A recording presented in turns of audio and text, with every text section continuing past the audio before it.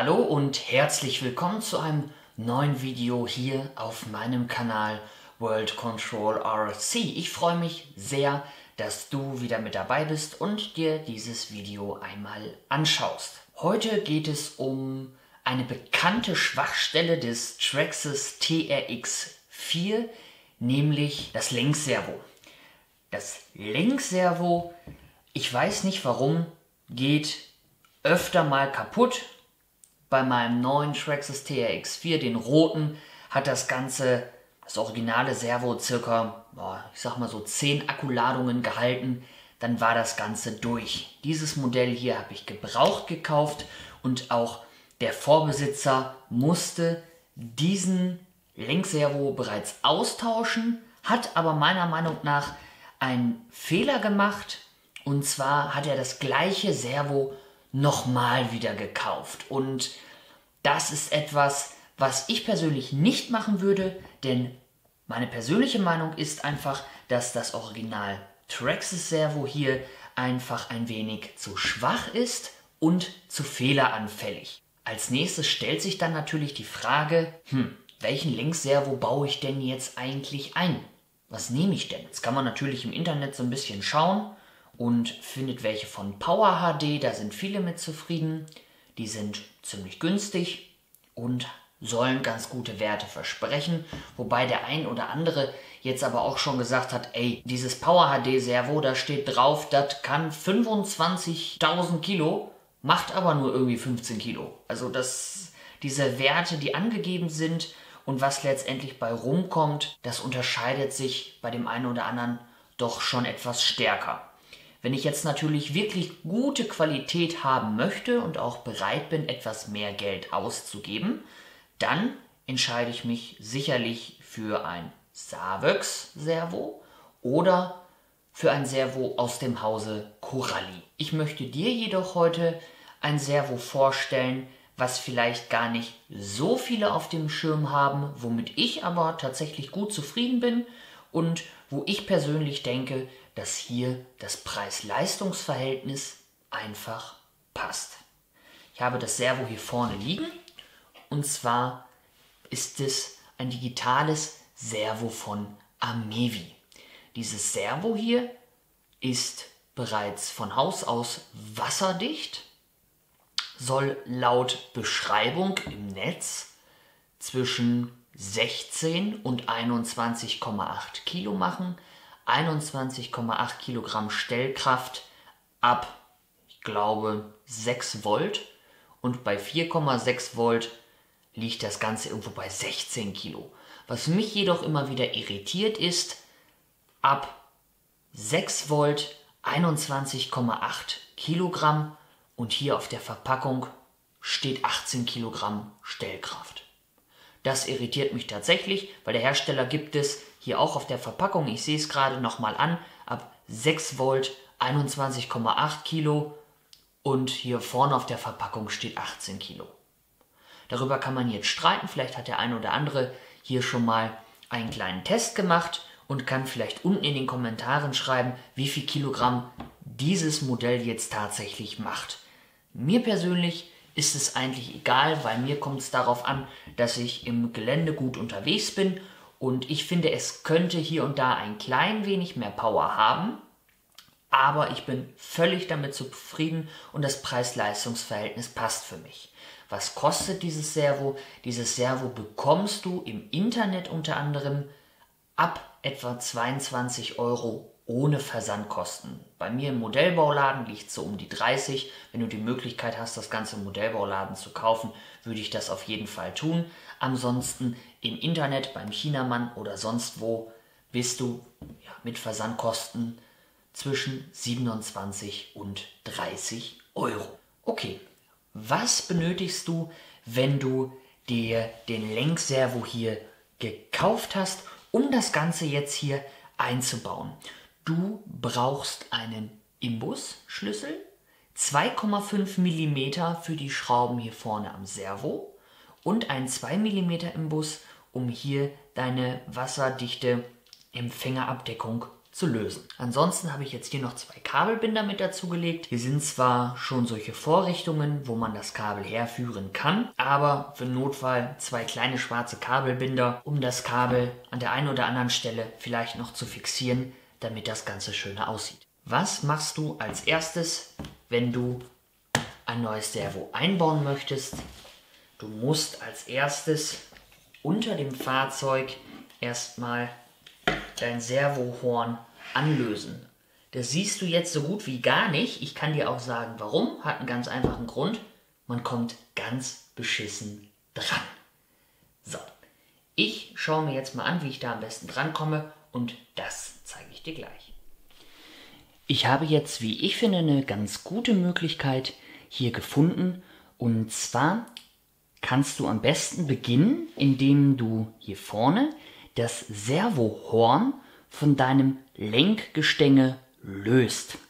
Das machst du mit einem 2 mm Imbus und ich empfehle dir dazu auf jeden Fall das Ganze hier per Hand zu machen mit so einem Schraubendreher. Du kannst gerne später für die anderen Schrauben einen Akkudreher verwenden. Das würde ich jetzt noch nicht tun, weil hier brauchst du tatsächlich ein wenig Gefühl, um das Ganze zu lösen.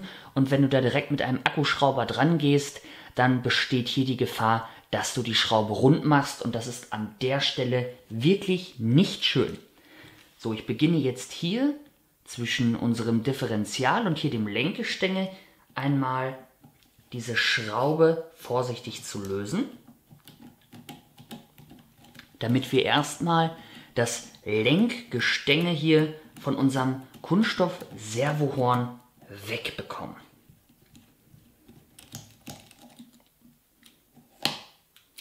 So, du siehst, das ist eine ganz normale Schraube hier. Die ist jetzt nicht so wahnsinnig lang. Na, wo sieht man es denn? Hier vorne ist das, glaube ich, ganz gut. Und schon haben wir hier unser Lenkgestänge von dem Servohorn gelöst. Als nächstes drehen wir das Fahrzeug einmal um und können jetzt hier den Lenkservo ausbauen. Das Ganze machen wir jetzt mit 2,5 mm Imbus und hier können wir ruhig einen Akkuschrauber verwenden.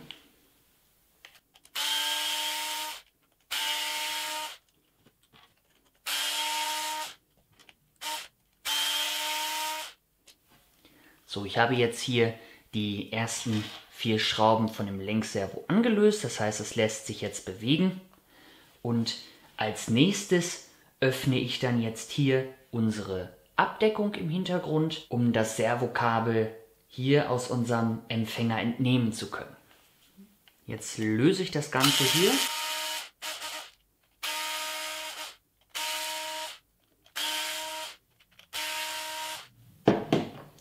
Dann lässt sich diese Abdeckung hier einfach entnehmen. Das ist sozusagen hier unser kleiner wasserfester Eingang für die Leute, die das noch nicht gesehen haben. Ich kann es hier mal zeigen. Hier ist ein bisschen Schaumstoff. Hier laufen die ganzen Verbindungen von einem Ready-to-Run-Fahrzeug durch. Und dieses Schaumstoff sorgt dafür, dass hier halt kein Wasser so ohne weiteres reinlaufen kann. Deswegen ist dieses Fahrzeug Spritzwasser geschützt. Als nächstes können wir hier die große Abdeckung abnehmen. Hier habe ich mein Lichtset drunter, das sieht also normalerweise nicht so aus. Und jetzt mache ich mich auf die knifflige Suche nach dem Lenkservo.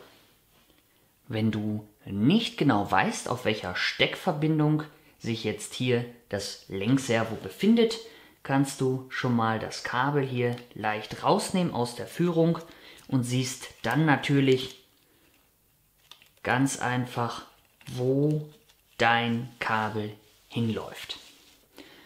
Und siehe da, mein Lenkservokabel ist natürlich hier mit meinem Lichtset verbunden, damit es auch später anständig blinkt. Das Ganze koppel ich jetzt ab. und führe dann natürlich hier dieses Lenkservokabel unten drunter durch.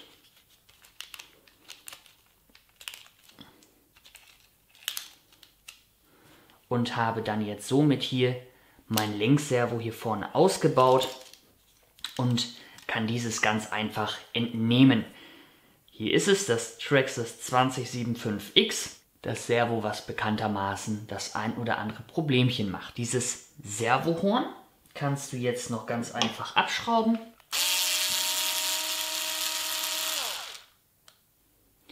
Und du siehst vielleicht an der Schraube, dass da so ein bisschen blauer Lack dran ist. Und zwar hat der Vorbesitzer auch hier mit Schraubensicherungslack gearbeitet.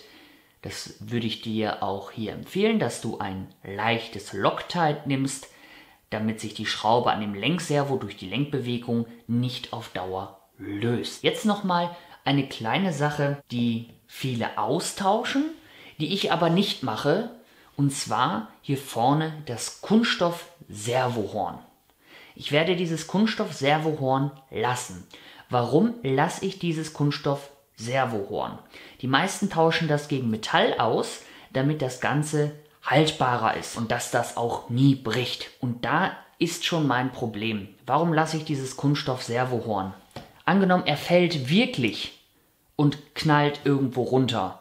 Dann überträgt sich der Schlag auf dieses Servohorn. Wenn das aus Metall ist, dann geht die ganze Wucht dieses Aufpralls in das Servo.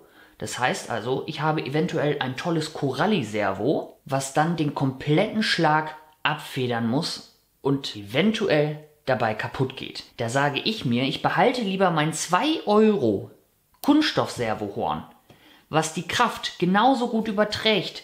Ich habe es noch nie erlebt, dass ein Kunststoff-Servohorn beim Crawlen bricht.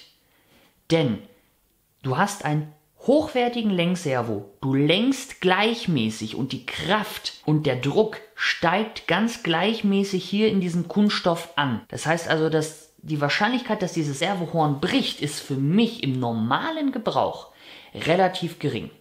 Und selbst wenn, dann kostet mich dieses Servohorn 2 Euro. Und wenn das Teil jetzt tatsächlich mal einen Hügel runterfällt, was für mich wahrscheinlicher ist, und hier ein richtig dicker Schlag auf die Lenkung kommt, dann bricht mir doch lieber mein 2 Euro Servohorn kaputt, was ich gut dann wieder austauschen muss, aber dafür bleibt mein hochwertiges Servo erhalten. Also das kann jeder machen, wie er möchte.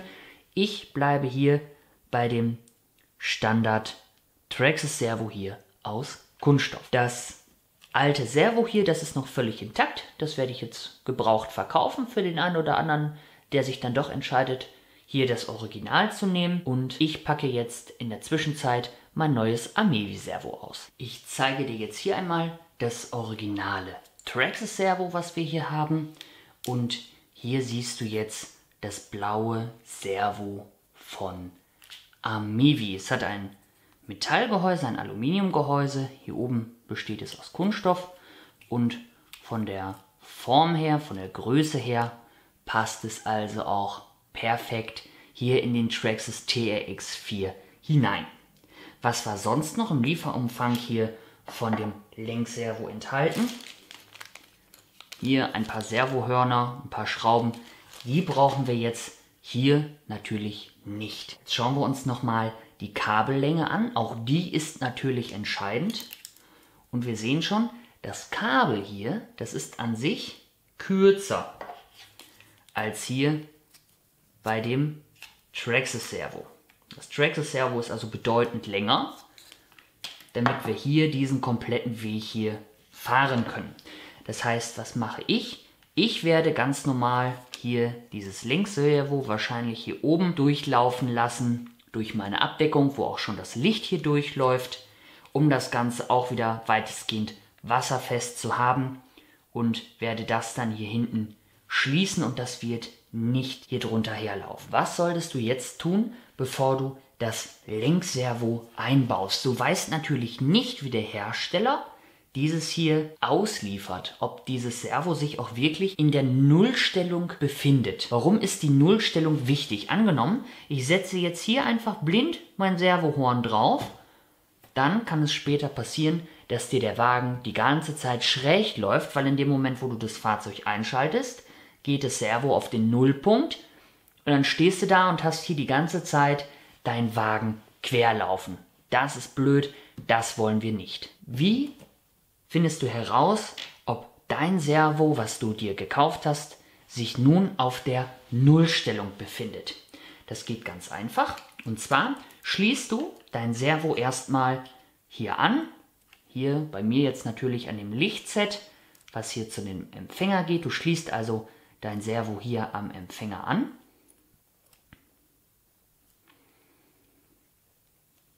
Das Ganze hält. Dann gehst du zu deiner Fernsteuerung und stellst die Trimmung einmal auf 0. Dass also auch die Fernsteuerung hier einen Nullpunkt hat. Das kannst du hier oben ganz links mit dem Rädchen einmal tun. Als nächstes schaltest du die Fernbedienung ein und wenn du jetzt deinen Traxxas TRX4 einschaltest und sich dein Servo ganz leicht kurz auf 0 stellt, dann weißt du, dass es vorher anscheinend nicht zu 100% gerade war. Das machen wir jetzt hier einmal. Ich schalte das Fahrzeug ein und wir beide gucken jetzt mal, ob sich das Servo hier in irgendeiner Form bewegt.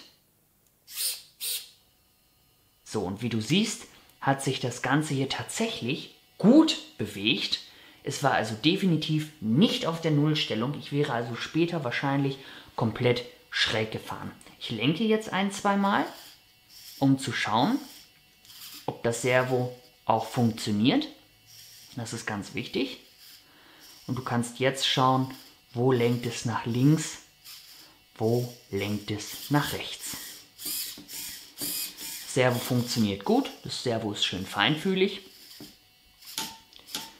Und du hast jetzt hier gleich wieder deine gewünschte Nullstellung.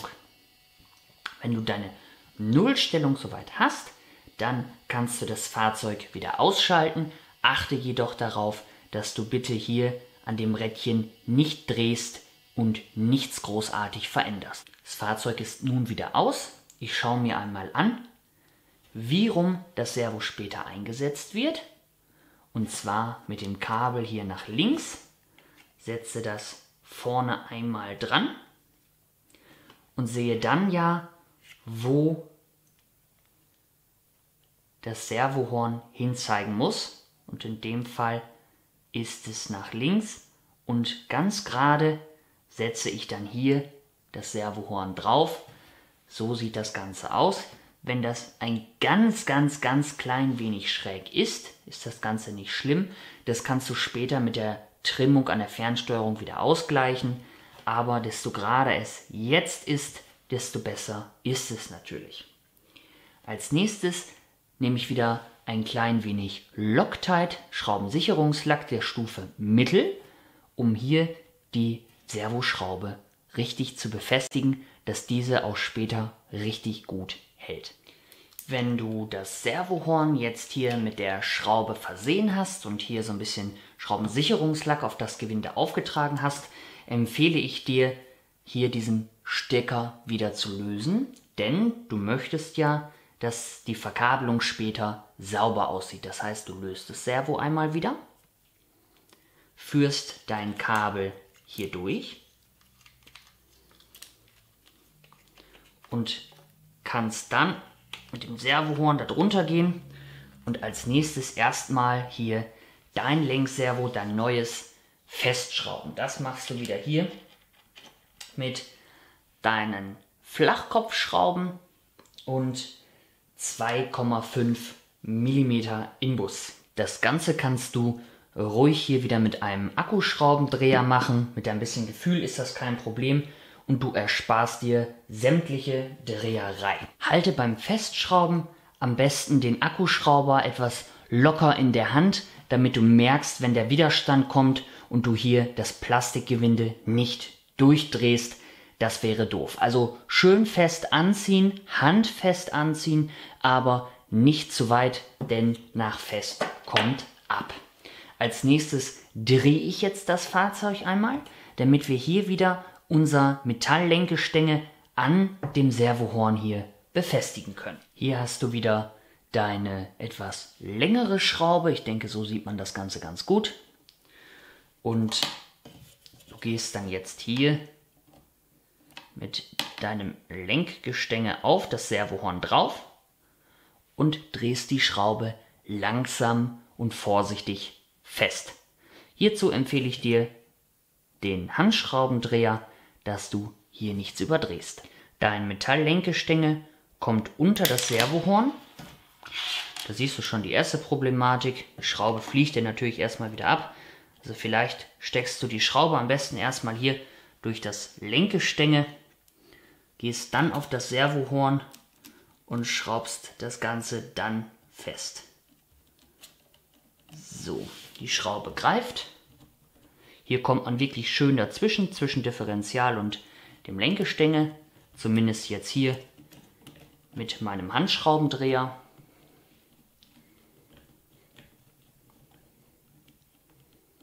Und wenn du das Ganze handfest angezogen hast, dann sollte das ganz prima halten. Als nächstes kannst du jetzt hier deine Kabelführung dir anschauen, wie du dein Servokabel verlegen möchtest. Das mache ich jetzt hier nicht. Du weißt ja, du musst es hier einfach nur herlegen und wieder hier in deinen entsprechenden Channel hineinsetzen. Denn ich möchte gleich noch etwas anderes einbauen und deswegen lasse ich das Ganze hier noch offen, aber ich schließe es für dich einmal hier an der Lenkung an und wir schauen uns einmal gemeinsam an, ob die Lenkung auch funktioniert. Servo ist schön fest. Wie gesagt, du hast jetzt hier dein Kabel schön verlegt. Als nächstes schalten wir die Fernsteuerung an und das Auto. So, wir haben einen richtig schön gerade Auslauf. Das sieht schon mal super aus. Die Räder stehen also hier schön gerade. Und wir lenken jetzt mal. Und du siehst schon, das Servo ist sehr feinfühlig. und hat schön Kraft. Auch wenn ich das festhalte, lenkt das Servo gut mit. Für mich reicht dieses Servo völlig aus. Und auch hier jetzt nochmal schön feinfühlig und du kannst jetzt hier nochmal gucken, ob du einen Lenkeinschlagsbegrenzer, ob du das Ganze einstellen musst, ob du den Lenkeinschlag begrenzen musst. Denn wenn du lenkst, und es geht von der Mechanik her, von deinem Lenkgestänge nicht mehr weiter. Du hörst aber, dass der Servo sich anstrengt und weiterhin versucht hier zu lenken. Dann machst du dir auf Dauer dein Servo kaputt. Dann musst du den Endpoint hier einstellen. Wir lenken jetzt nochmal und ich merke, okay, der Servo hört passend auf hier mit meinem maximalen Lenkeinschlag und das Ganze auch zur anderen Seite. Das heißt, ich muss bei diesem Servo nichts einstellen. Mein Servo geht so nicht kaputt. Und es funktioniert hier einwandfrei.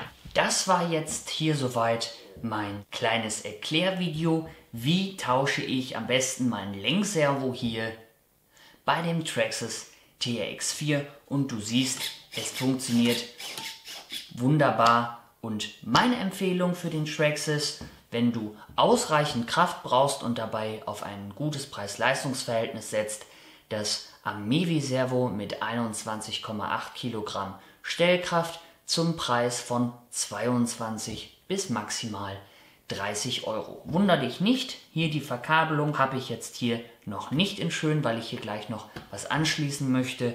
Das sieht natürlich, wenn du das hier später wieder schön ordentlich reinlegst und den Kasten zuschraubst, alles ordentlich aus. Es hat mich sehr gefreut, dass du wieder mit dabei bist und ich würde mich freuen, wenn du auch beim nächsten Video wieder vorbeischaust. Mach's gut, bis dahin, dein World Control RC.